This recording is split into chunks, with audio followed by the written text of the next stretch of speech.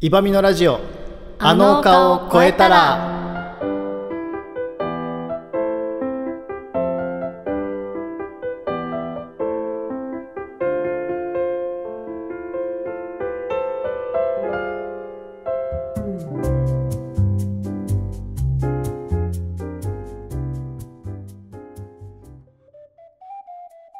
トランペットオカリナ奏者の茨城智弘です。歌とピアノのみのりです。この2人でお届けしている YouTube でのラジオ企画今回は2024年11月10日配信の第89回です。前編私茨城のチャンネルから後編をみのりさんのチャンネルから配信しています。動画説明欄に後編へのリンクがありますので前後,、えー前後編続けて聞いていただければと思います。息継ぎが失敗しましたけど。覚えて息継ぎ。11月息継10日ですプロなんだから。そうなんですやっぱうん文章難しいですね、そうですね。はいうん。秋も深まっている頃でしょう。急に秋になりましたね。本当に。この日は僕は金沢にいますよ。あ、そうなんだ。う。うん金沢のコンサートをやって終わった頃でしょーん。金沢どこ？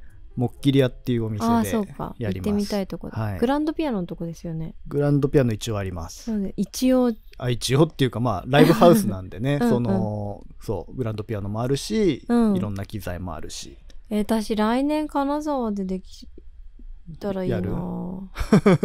やれば？うん 全然いいと思いおますよ客。さん来てくれるかな？うん、ねねそれですけどね。それですね。うんうん僕はでも最近もう地方行くって思ったらうん。うんすっごい今更なんですけどなんか僕の中でねうん日本酒ブームが来ててはい。ずーっと日本酒の近くにはいたんだけど、うん。しまあ美味しいのは知ってるなんかビールちょっと苦手。焼酎飲むと頭痛くなる、うん。ワインも頭痛くなる。ウイスキーもまあなんとなくだから飲むとしたらハイボール飲んでるんだけど、うん。日本酒はなんかいいお酒飲んでるとすっきりうん。翌日もいけるなっていう体感はずっとあったんですよ。なんだけどここ最近急にうん。日本酒モチベが上がってて、うん。すごいね飲みたい気分なんで。飲みべ飲みべがそう。飲みべ知ってるよ私昨日知った。飲みべうん。飲みべ上がってるってやつえーそうなんだ。飲みですベーションうん。上がっちゃって。そう。どうして？なんか日本酒美味しいなって思って。あ、そっか。今更ね。だからうん。みんな言うじゃん、もううん。周りの人もきみんなさラベル集めるの趣味なうんそう？森くんとかもそうだけど。そうだね。そう。でまあ別に反対派でも何でもないけど、うん。そっち側までは行ってる気分じゃなかったんだけど、うん行ってき今更ちょっと追いついてきたかすらご金沢とか行ったらなんか美味しいもの食べながら飲めたらいいななんて思ってます。これっていうのありますか？今一押しは、うん。そうだね。変わるかもしれないから、うん。今のそのハマり始めの僕が今 ハマってるお酒は口説き上手、口説き上手？ううんん。まあ有名な銘柄山形のお酒ですねもちろんその中にもいろんな種類があるけど、あ、はい。美味しいなって一番思ったのはそれかな。何口なんですか？なんて言うんだろうね。なんかそこら辺も全然まだ分かってないけど、うん。まあフルーティーでうん。ふわっていう華やかさがあるって感じ。だから甘口辛口で言うと甘口なのかな、うーうん。んって話をねしてて思ったんですけど、うん。その来月うん。12月分のラジオを撮るじゃないですか、はい。毎回なんか忘年会みたいのするじゃない？ああもうそうえ来月って12月なの？今月11月だから来月12月なんじゃない？多分。早いよー。なんそうかなの？ねコンビニスイーツで忘年会とか前はやったけど、うんなんか日本酒飲みながらえー、ついに？ラジオ撮るとかちょっと面白いかもって思った。ね、うんうん、ただそうちゃんとなんか飲める場所を抑えないといけないから。公共施設ではちょっちょとっとね。出禁になっちゃうかもしれないうん、ちょっと考えてもしできそうだったら、そんなパターンもね。なんかおすすめのお酒買ってきてはい。ちびちび飲みながら1年を振り返るみたいな。あらまあ大人なことに？わかんない。めちゃくちゃになるかもしれないけど。えー、でもそんな酔っ払わそないんじゃんなまあ変わんないとは思うけどね僕は、うん顔でもね夜やんなきゃねそしたら。まあそうね。うん。朝一とかだとしんどいかもね、まあいいかもね、うん。というどっかさどっかお店やってる人とかいないんですか？お店？でも貸し切りなんか絶対できないよね これのために。ラジオ収録のために。ちょっと飲んで喋るために。店貸し切どるのんな大御所なの？それはダメだ。まあレンタルスペースとかなら全う然ん。いけるかな、うん、いいですね。パ友達呼びたくなっちゃうんじゃない？ーティーじゃん。呼ぶ？それラジオなしでやればいいんじゃない？そっか。普通に年末にやるやつ。でへえ、まあそんな季節ですそんねなことを思っておりますが、うんみのりさんは、はい。二の腕はん？自信ありますか？あるよ。あるんですか？二の腕ってどこですか？二の腕？うん。腕の2番目ってことですよね。そこだよこれなねんて言うんだろう。ここが二の腕って。そう二の腕ってそれじゃないですか。はい。うん、いわゆるプニプニしてはい。柔らかいとこ。はい。が今二の腕って言われてんだけどえでも自分の体から数えたらさ1の腕はい2の腕じゃない、肘まで肩から肘までが1で、うん。そっから先がやっと2でで手が生えてるみたいな順番でもあるじゃん。でもさ指とか第一関節とかもさ先っぽから来ない？確かに。本当だ。ごめんね。それも そうだね。確かにね。そうだね。だからどっちかど第一だかちょっと分かんなくなっちゃう私も。あー確かに指もそうだね、ど自分から見たら第二関節の方が第一だね、うん。そう。でね二の腕ってうん。これもだからはっきりと説がわかるわけじゃない。諸説ありかもしれないんだけど、はい。古い文献を見ると、うん。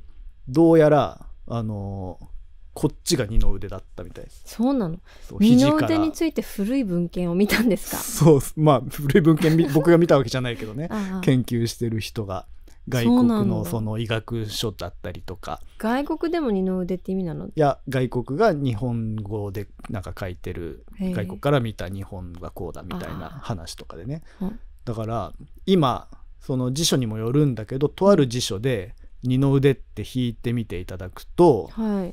こう書いてあるんですよ。あのまあ、辞書って複数意味が書いてあるじゃん？うん。二の腕って引きました。うん。1肩から肘までの間の部分。うん2肘と手首の間の腕。両両方。両方なんですよ。そもそもはこっちが二の腕ででも今はこっちが二の腕でみたいなことで、へーなんか日本語って意味変わってくのあるよねって話を最近してたので。を選んだんですか？気になったの？二のなんか腕なんたまたましそう気になって知ったというか、でも今その第一関節の話が今気になってます。じゃあ次はそれで。それも調べてみないとね。うん。そう。でもこう二の腕の部分のことも腕とは言いますよね。それがもっと言うと、うん。そもそも腕っていうのが手首の手前のこの辺のことだったんだって、そうなの？そう。でそのだから今二の腕って言ってる部分はまた別の呼び方があって、うん。なんとかっていうのがあってへえ今思い出せないんだけどうん。なんか柔道の技の名前とかに残ってる。そのなんとかうん。固めみたいな技名で残ってたりするんだけどもっと細かい名前が本当はあったのが今は全部腕になってでもそこを1の腕2の腕って区別してるみたいな、一の腕。うん、らしいですよ。だ。覚えときます。はい。ということで語源の話から言ってみましたけれども、先月もはいコメントいろいろいただきましたのでちょっと紹介していきましょう。お願いしますはい87回えっ、とあれだ将来の夢が決まりましたっていうタイトルのはい回ですね。えーひな、あ、辰巳ひなさん。茨城智弘さん、こんにちは。ひな辰巳です。10月に入って久しぶりのイバミのラジオですね。ひなたつみですだった本当に辰巳ひなですって書いてあった。なんで？逆そう。あの、名前がね、名字名前ひっくり返っちゃうから、それが今癖になって、逆言っち自ゃった。分でもそう言ってんのかと思った 失礼しました。辰巳ひなですって書いてました。えー私もいろいろな聖地巡礼をしているのですが、有楽町のコットンクラブはまだ行ったことがないです。というコぜ。ひ来てくださいそう、ありがとうみのりちゃんがね、コットンクラブいつか出たいなって話でしたけど。コットンクラブねうん。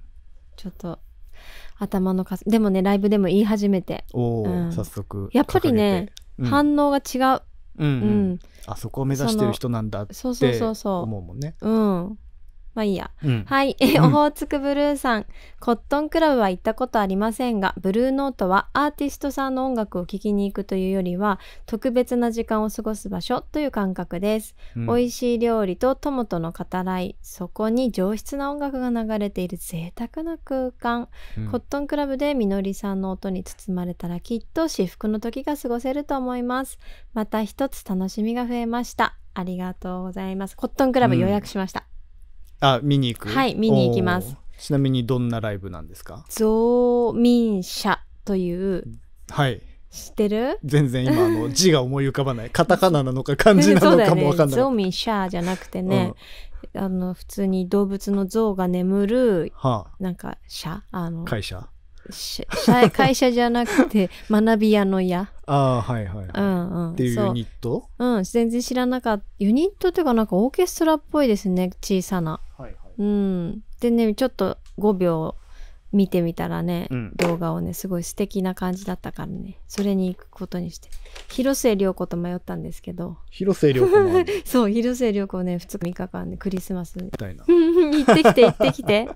なんかちょっと興味あるなと思ったけど自分が目指す場所として行くにはあまりふさわしくないかなと思そっちじゃない感じすって、るね。ちょっとやめた広けど。末涼子さんも歌うのかな、まあ、歌うんでしょう。ね20年ぶりのライブですみたいな書いてあうんったよ、歌のライブなんてやってないイメージだうもんね、ん。へずっと前からだよえね。それです。彼のこと。いいかも。ね。えこのラジオでしたっけ？その話、わかんない。まあ、広末涼子のファンだったんです。よ小学生の時。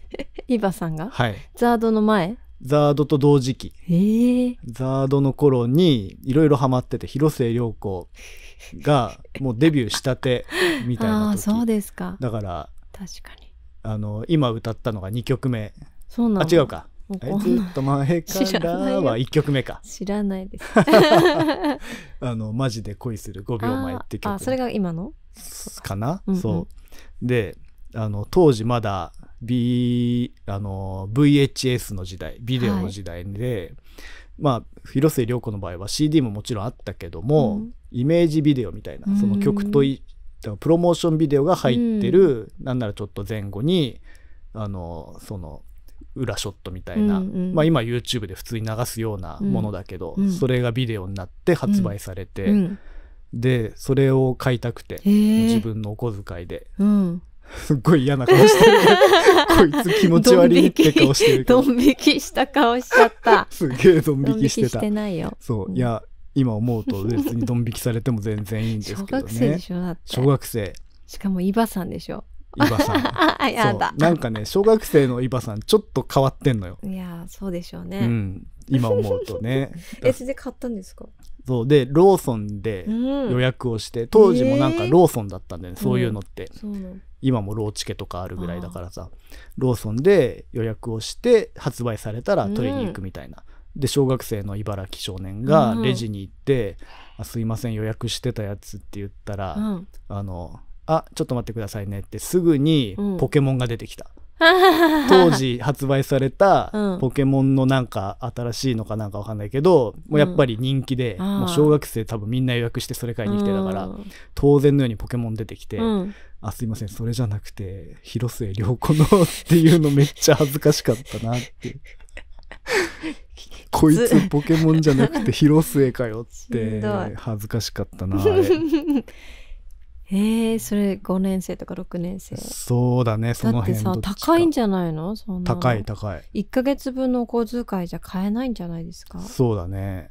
もうでもいやだから普段から貯めてるお小遣い。別にそんなに他に使うことなかったからね、すごい、うん、CD とかは買うってよりかは借りるがほとんどで、まあ、うんたまにそれこそザードとかでちゃんと欲しいやつは買ったりしてたからうん。CD とそのビデオとうん。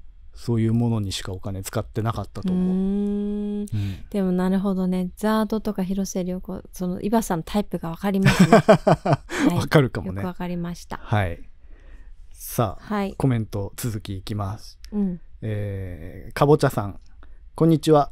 コットンクラブって聞いたことはあるけど行ったことがないのでみのりさんが出演するならぜひ行ってみたいです。やった。いつの日かコットンクラブでみのりさんの演奏を聴ける日を楽しみにしています。そんなに遠い話ではないように思いますよ、うん本当に。あんま遠い話になると困っちゃうねいい年になってくるからね、うん我々も。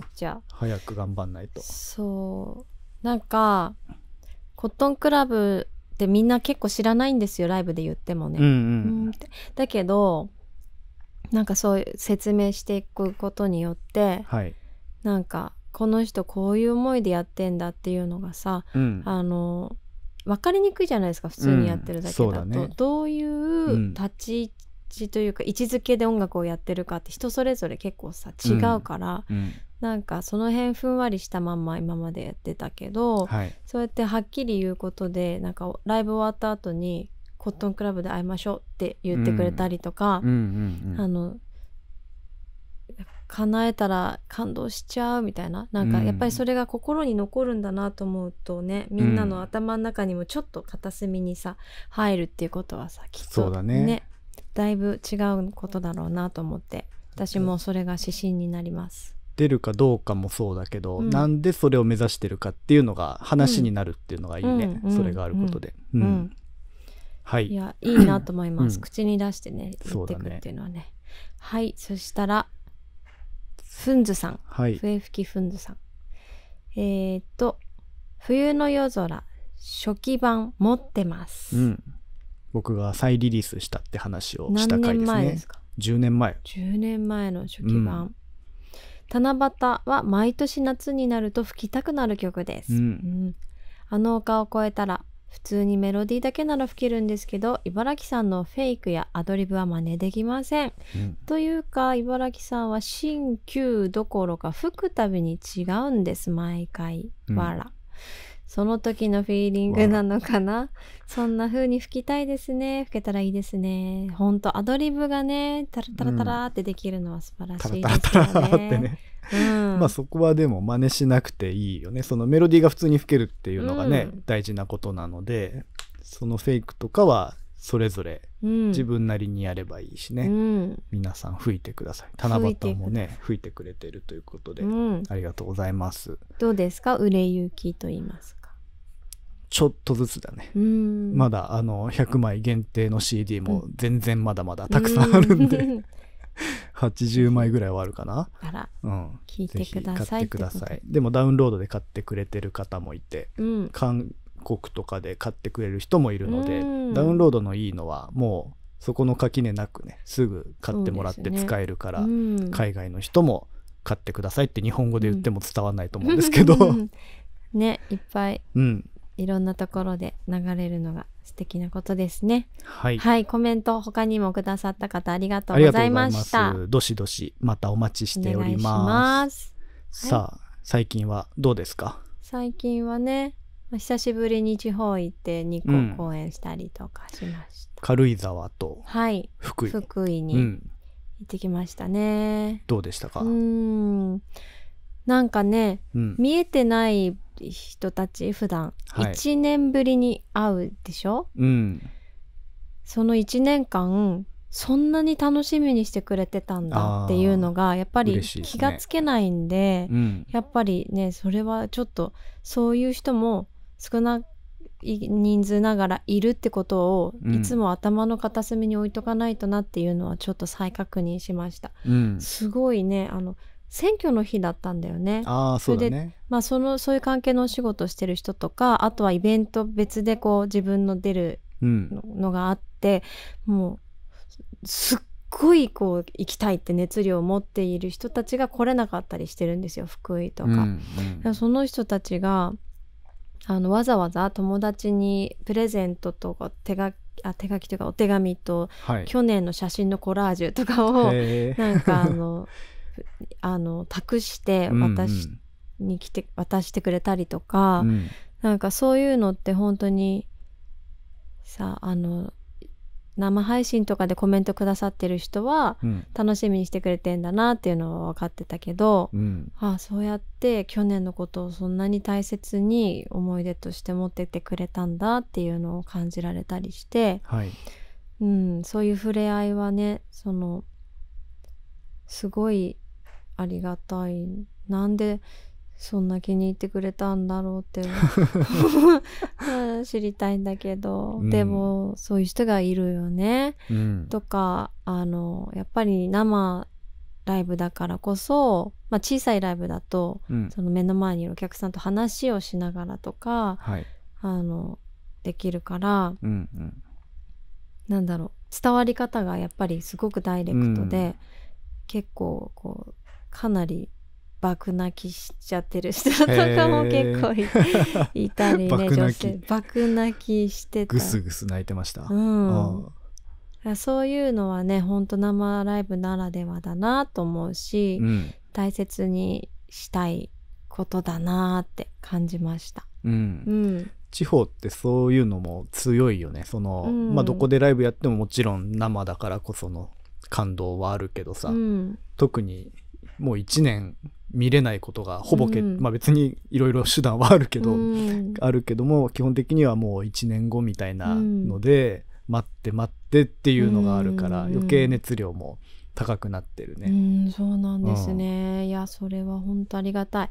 で、福井の方はね、来年は2カ所でやろうかって言って、おもう、増えてるそうそう、次、あの、違う場所でやるから、そこの下見に、下見というか、挨拶しにも連れてってもらったり、へー。ちょっとね、そういう、こう、一緒に熱をうん。持ってうん。臨んでくださる、うん。あの主催の方とかがね。それはあのまた頑張ろうって思える。うん。ん。福井市内でもう一個ってこと？えーっと市が違うかもしれないもちょっしかしたら。とだけ離れた町でって感じか、うん。うんうんまあ1時間もしないぐらいの場所だったと思うんうけど、へ確か。うん。ーいやーあの新幹線が今うん。敦賀までうん。行けるじゃないでうすか、ん。で福井にそのうち行けるようになるんだっけ？わかんない。多分そんなことなんですよ。福井の手前でまだ止まってんだけど、うん。なんか美味しそうだなって思ってるカニとか食べに行きたい。そうそう。だから来年はカニの時期にしようって言ってねあーいいね。11月になった。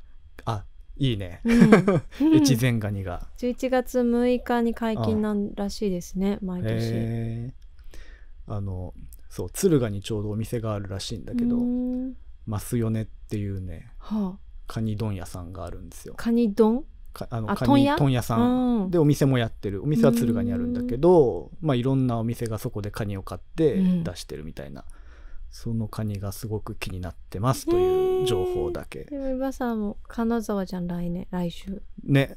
カニあでもね確かに去年も11月に金沢行ったら、うん。ちょうど香箱ガニが解禁っていう日で香箱か食べました。お寿司屋さん。探し回って寿司で食べたの？食べた。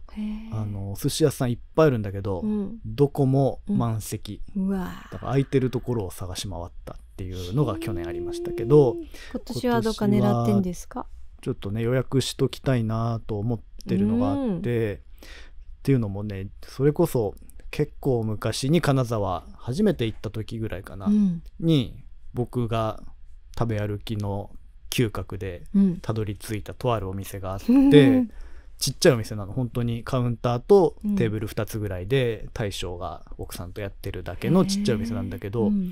いま、未だにあそこで食べた魚が一番美味しかった。なんかねもうまあ本当にその場で注文してから切ってくれるんだけど、もう魚の形してるところからスタートして、へー。そっからお作り作るのね。へえだからもうめみるみるうちに色が変わってく。そのなんかあったかい食べ物出てきたら早く食べなきゃって思うけうん。どお刺身とかってなんか残りがちだったりするじゃうん。ん居酒屋とかで。もうそんなんじゃなくてうん。早くもうすっごい新鮮だからこうん。の刺身早く食べなきゃみたいな。そんな感覚で食べたのを思いってるけどそこに今日本酒乗っけたら 最高じゃんと思ってるところです。ですね。はいはい。なるほどね。はい。ちょっとまあそんな最近の話をまだまだ聞きたいと思うのそで,、すね、今さんのお話もね、うん、前編はこの辺にして後編でちょっとまた話していきましょう。はい。はい。じゃあこの続きはみのりさんのチャンネルの方で引き続きお話ししていきたいと思います。説明欄にリンクがありますのでそちらから後編の方もお聞きください。はいここまでのお相手はトランペットオカリナ奏者の茨城智弘と歌とピアノのみのりでしたありがとうございました。